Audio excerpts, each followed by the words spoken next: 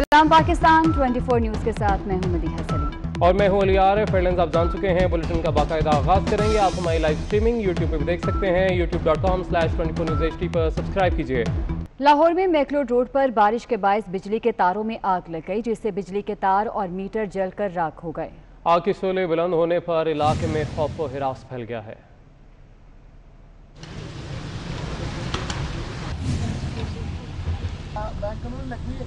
मैंने खंबे ਨੂੰ ਲੱਗੀ ਹੈ ਨਾ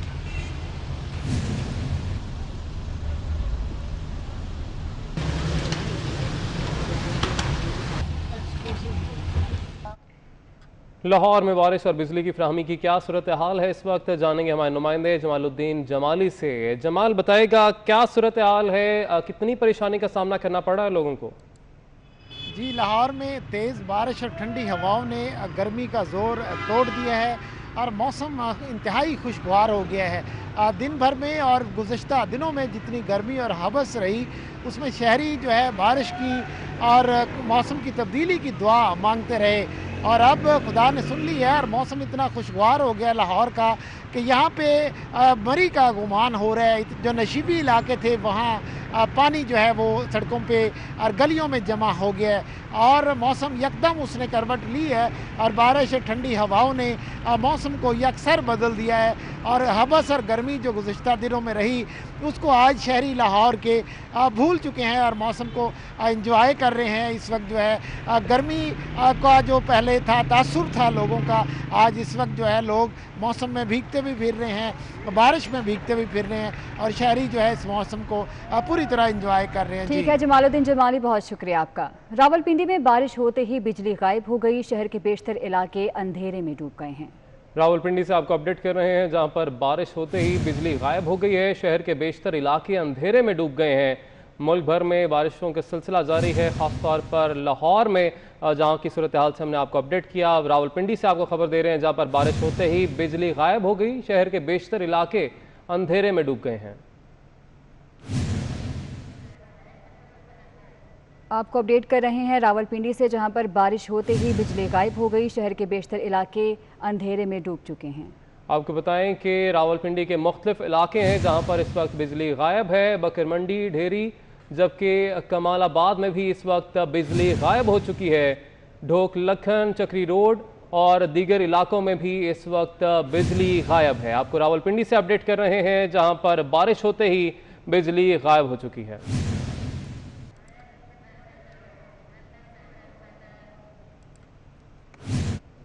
कराची के मुख्तलिफ़ इलाकों में भी बूंदाबांदी का सिलसिला शुरू हो गया है।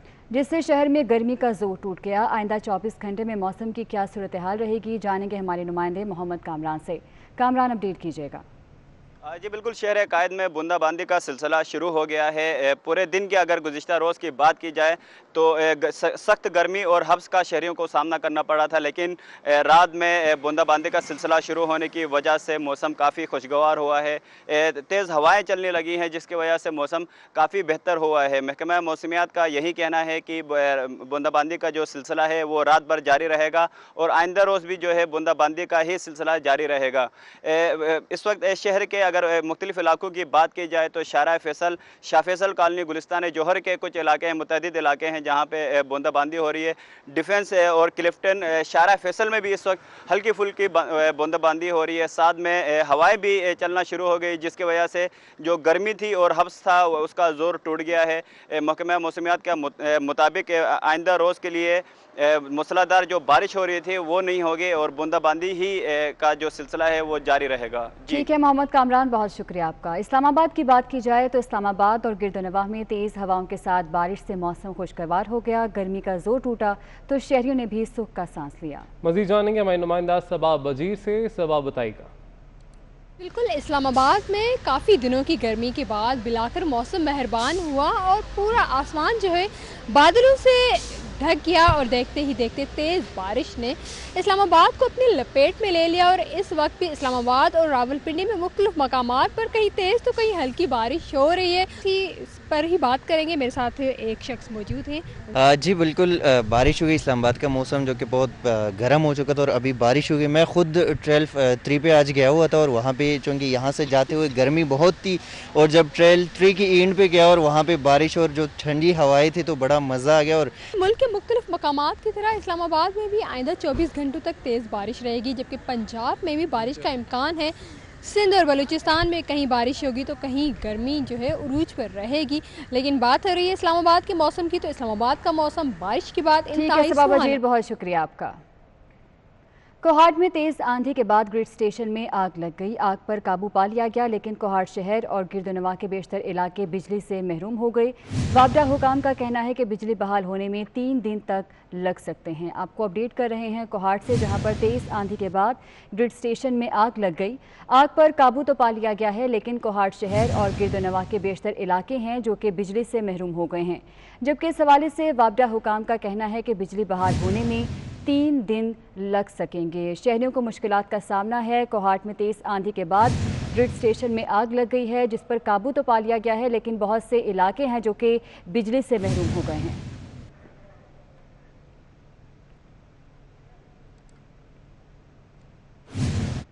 मुल्क के बेशतर इलाकों में मानसून बारिशों के रंग छा गए हैं। मौसमियात ने दो रोज़ तक मुल्क के बालाई और वस्ती इलाकों में बारिश की पेशगोई की है। कश्मीर, इस्लामाबाद, पंजाब, खैबर पख्तूनख्वा और गिलगित बल्तिस्तान में कहीं कहीं आंधी और गरज चमक के साथ बारिश की तो है। तो आपको बता रहे हैं, मुल्क के बेशतर इलाकों में मानसून बारिशों के रंग छा गए। महकमा मौसमियात ने दो रोज़ तक मुल्क के बालाई और वस्ती इलाकों में बारिश की पेशगोई की है। कश्मीर, इस्लामाबाद, पंजाब, खैबर पख्तूनख्वा और गिलगित बल्तिस्तान में कहीं कहीं आंधी और गरज चमक के साथ बारिश की तो है। मुल्क के बेशतर इलाकों में मानसून बारिशों के रंग छा गए। इसी वाले से मजीद जानेंगे हमारे नुमाइंदा रोजीना अली हमारे साथ मौजूद हैं। रोजीना, बताएगा क्या कहना है महकमा मौसमियात का? बिल्कुल जी, सबसे पहले तो वाकई मानसून की बारिशों ने रंग जमा दिया है। इस्लामाबाद में भी इतनी गर्मी थी और आज जो बारिश हुई, शाम को उसके बाद गर्मी की शिद्दत काफ़ी कम हो गई और मुल्क के दीगर इलाकों में भी मानसून की बारिशें अपना रंग जमा रही हैं। महकमा मौसमियात का तो यही बताना है कि आज इतवार के रोज भी मुल्क के बालाई और वस्ती इलाकों में बारिश की तो है। मुल्क के बालाई इलाकों में मानसून हवाएँ दाखिल होने की तो की जा रही है और जिसके बाद कश्मीर, इस्लामाबाद, पंजाब, खैबर पख्तूनख्वा और गिलगित बल्तिस्तान में बताया जा रहा है कि कहीं कहीं आंधी और गरज चमक के साथ बारिश हो सकती है। और इसके अलावा पंजाब के कुछ इलाकों में, जिनमें रावलपिंडी, सरगोदा, फैसलाबाद और लाहौर के इलाके ठीक है रोजीना, आपने अपडेट किया। शुक्रिया आपका। खबरों के सिलसिले को आगे बढ़ाएँ और आपको बताएँ कि जमात इस्लामी का शारा फैसल पर धरना खत्म हो चुका है। हुकूमत और के इलेक्ट्रिक को तीन दिन का अल्टीमेटम दे दिया गया है। मसाइल हल ना हुए तो गवर्नर और वज़ीर अला हाउस धरना देंगे। हाफिज रहमान की जानब से ये ऐलान कर दिया गया है। बिजली की कीमत में इजाफा वापस लेने का मुतालबा भी किया गया है। साथ ही साथ अबराज ग्रुप पर विफाकी हुकूमत की नवाजिशात पर भी सवाल उठा दिए गए हैं। आपको अपडेट कर रहे हैं, जमात इस्लामी का शारा फैसल पर धरना खत्म हो चुका है। हुकूमत और के इलेक्ट्रिक को तीन दिन का अल्टीमेटम दे दिया गया है।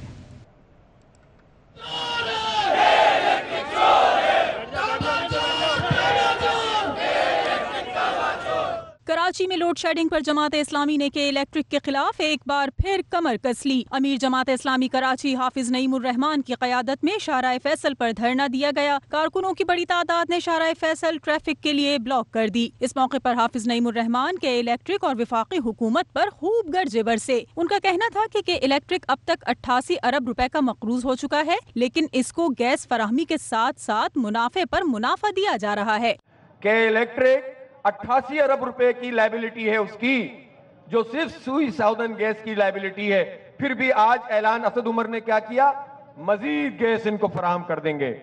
और मज़े की बात 11 साल में आज तक सुई सौदन गैस और के इलेक्ट्रिक के दरमियान सेल एग्रीमेंट ही नहीं हुआ है। हाफिज नईमुर रहमान ने सवाल किया कि विफाकी हुकूमत अबराज ग्रुप का इतना साथ क्यों दे रही है? पीटीआई वाले इमरान खान को ईमानदार कहते हैं, अगर ईमानदार का ये हाल है तो बेईमान का हाल क्या होगा? उन्होंने तांबे की तार निकाल कर फरोख्त करने के मामले का ऑडिट कराने का भी मुतालबा किया। ईमानदार वज़ीर आज़म का ये हाल है तो बेईमान का क्या हाल होगा? तो इन्होंने उनको वहाँ बैठाते रहे। अब वो वहाँ पकड़े गए तो फिर भी उनके हक में फैसले होते हैं और उनको सब्सिडी भी 26 अरब रुपए तो इन्होंने इस फाइनेंशियल ईयर की सब्सिडी मार्च में दे दी। अमीर जमात इस्लामी कराची ने मजीद कहा कि हुकूमत की नाकामियों के बायस अवाम कोरोना के बावजूद सड़कों पर निकले। इस दौरान दीगर कायदीन ने भी खिताब किया। रोशनी के शहर कराची में आजकल अंधेरों का राज है। गैर एलानिया लोड शेडिंग और इजाफी बिलों ने शहरियों की चीखें निकाल दी हैं। बिजली की बंदिश और बिजली के इजाफी बिलों पर शहरियों का क्या कहना है? जानेंगे ट्वेंटी न्यूज़ के नुमाइंदे मोहम्मद अली खान से। अली बताएगा। जी, बिल्कुल, मैं इस वक्त मौजूद हूँ शाह फैसल हाजरा कॉलोनी में और इस वक्त सिलसिला यहाँ पे ये है कि गैर एलानिया एलानिया लोड शेडिंग का दौरानिया आठ से दस घंटे जो है वो चला जाता है। मेरे साथ इस वक्त यहाँ पे कुछ शहरी मौजूद हैं जो इस वक्त गर्मी से बिलबिला के इस वक्त रोड की गली गली के कोने पर आके बैठ गए जानते हैं इनसे कि इस वक्त ये क्या परेशानी का सबब है और ये इस वक्त यहाँ पे क्यों बैठे हुए लोड शेडिंग का जो है कि ये कभी जाती है दो घंटे के लिए, तीन घंटे के लिए जो एलानिया करते हैं ये। गैर एलानिया किसी वक्त भी चले जाती है और उसका कोई टाइम नहीं होता।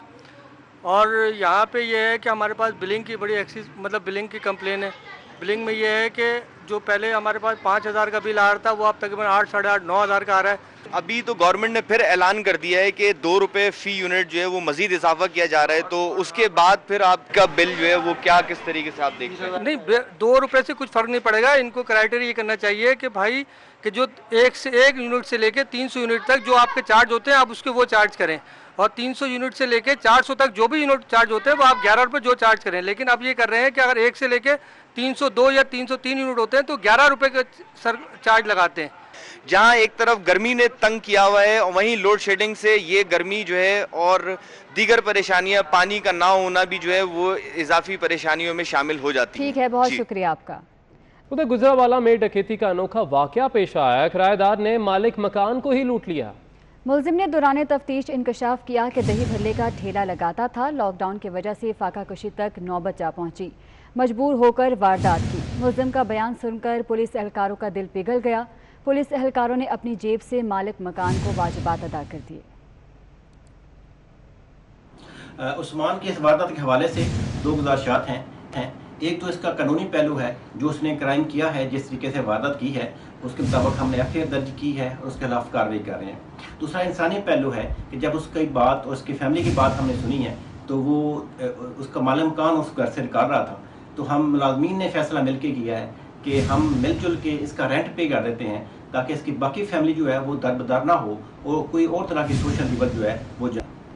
तो गुजरावाला से आपको अपडेट कर रहे हैं, जहाँ पर डकैती की अनोखी वारदात पेश आए किराएदार ने मालिक मकान को ही लूट लिया। मुलजिम ने दौरान तफ्तीश इंकशाफ किया कि दही भल्ले का ठेला लगाता था। लॉकडाउन की वजह से फाका कशी तक नौबत जा पहुँची, मजबूर होकर वारदात की। मुलजिम का बयान सुनकर पुलिस एहलकारों का दिल पिघल गया और पुलिस एहलकारों ने अपनी जेब से ही मालिक मकान को वाजिबात अदा कर दिया इस हवाले से मजीद तफसीला जानेंगे राना जाहिद से। राना जाहिद, अपडेट कीजिएगा इस वारदात के हवाले से। हाँ जी, बिल्कुल, ये गुजरावाला में डकैती का अनोखा वाक्य पेश है, जिसमें किराएदार ने बुरका पहनकर मालिक मकान को लूट लिया। मुलजम ने दौरान तफ्तीश इंकशाफ किया है कि दही मल्ले का ठेला लगाता था, लेकिन लॉकडाउन की वजह से उसके घर में फाका कशी थी, जिसके बाद उसने ये डकैती की वारदात की है। मुलजम के बयान को सुनने के बाद जो जो सिविल लाइन पुलिस है उसके दिल पिघल गए और उन्होंने जो वाजबात थे जो मालिक मकान के वो उसको अदा कर दिया जबकि उसकी बीवी को घर के राशन के लिए जो नगद रकम है वो भी दी है। गुजरावाला में अवलाल तो बीएसपी जो सेटेलाइट उनका कहना है कि डकैती की वारदात की जो एफ़ आई आर है वो मुलजम के खिलाफ दर्ज कर ली गई है। इंसानी हमदर्दी के तहत जो मुलजम ठीक है राना जाहिद बहुत शुक्रिया आपका।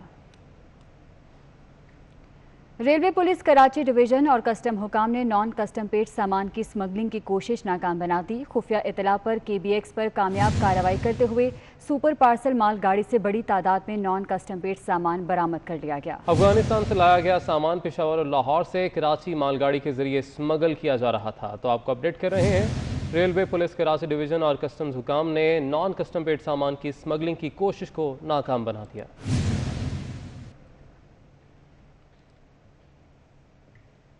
जुमा नून लीग मरियम औरंगज़ेब ने वजी अजम से अपने बयान पर खुद अमल करने का मुतालबा कर दिया। कहती हैं, दो साल जो कारकर्दगी दिखाई है, उस पर इमरान साहब इस्तीफ़ा दें और घर जाएँ। कौम भी यही मुतालबा कर रही है कि कारकर्दगी दिखाओ, वरना घर जाओ। मरियम औरंगज़ेब ने कहा कि आप चोरों और माफिया से हिस्सा लें और फिर ब्यूरोसी पर बरसें, ऐसा नहीं चलेगा। लीडर में विजन और अहलियत हो तो ब्यूरोक्रेसी और टीम काम करती है। अपनी करप्शन, ना नाअहली और नालायकी का मलबा ब्यूरोक्रेसी पर मत फेंके। ऐसा कहना है तर्जुमान नून लीग मरियम औरंगज़ेब का, जिन्होंने वजी अजम से अपने बयान पर खुद अमल करने का मुतालबा किया है। कहती हैं कि दो साल जो कारकर्दगी दिखाई है, उस पर इमरान साहब इस्तीफ़ा दें और घर चले जाएँ।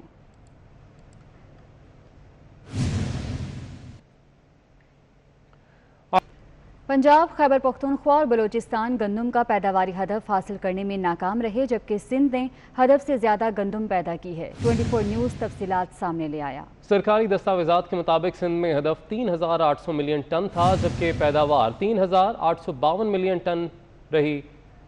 पंजाब में पैदावार और हदफ से दो सौ अट्ठावन मिलियन टन कम रही, जबकि खैबर पख्तूनख्वा में शॉर्टफॉल एक हज़ार तीन सौ पचास मिलियन टन रहा। बलोचिस्तान भी गंदम का पैदावारी हदफ हासिल करने में नाकाम रहा। सरकारी दस्तावेजा के मुताबिक मुल्क में गंदम का मजमू शॉर्टफॉल एक हज़ार चार सौ ग्यारह मिलियन टन है। आपको अपडेट कर रहे हैं, पंजाब खैबर पख्तूनख्वा और बलोचिस्तान गंदम का पैदावारी हदफ हासिल करने में नाकाम रहे, जबकि सिंध ने हदफ से ज़्यादा गंदम पैदा की है 24 न्यूज़ तफसीत सामने ले आया है।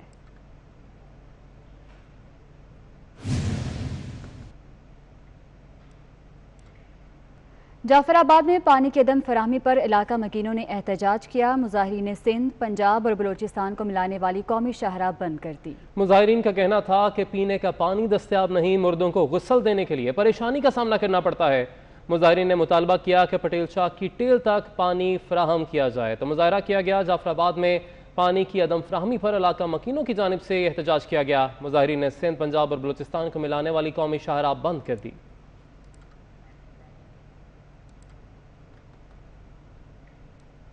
कराची में जराइम का जिन बेकाबू हो गया, नामालूम मुलजमान की फायरिंग से एक शख्स जाम बहक जबकि दो जख्मी हो गए। न्यू टाउन में डाकुओं ने घर से इकसठ लाख रुपए लूट लिए। जामिया कराची में चोरी का केस हल कर लिया गया। समर अब्बास की रिपोर्ट इसी बारे में है।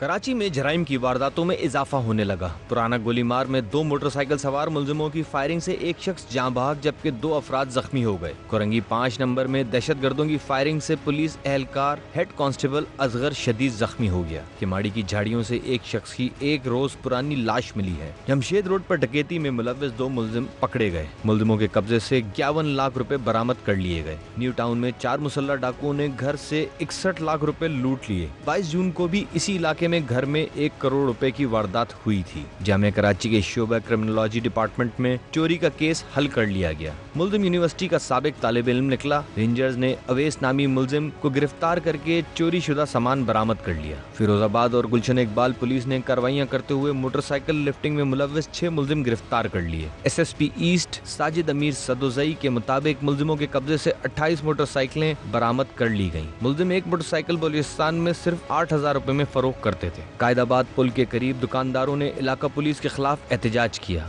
और पुल के नीचे नमाज़ अदा की। मुजाहरीन का कहना था कि पुलिस बिला जवाज दुकानदारों को तंग करती है। हक्काम नोटिस लें। समर अब्बास 24 न्यूज़, कराची। और आपको अपडेट करेंगे, अदाकारा रूबी अनम की तबीयत संभलने लगी है। रूबी अनम की पंजाब इंस्टीट्यूट ऑफ़ कार्डियोलॉजी में एंजियोग्राफी हुई, जिसके बाद उनको स्टंट डाल दिया गया। अदाकारा को जुम्मे के रोज़ दिल का दौरा पड़ने पर अस्पताल दाखिल कराया गया था और अब उनकी तबीयत बेहतर बताई जा रही है। अदाकारा रूबी अनम की तबीयत संभलने लगी है। रूबी अनम की पंजाब इंस्टीट्यूट ऑफ़ कार्डियोलॉजी में एंजियोग्राफी हुई, जिसके बाद उनको स्टंट डाल दिया गया है।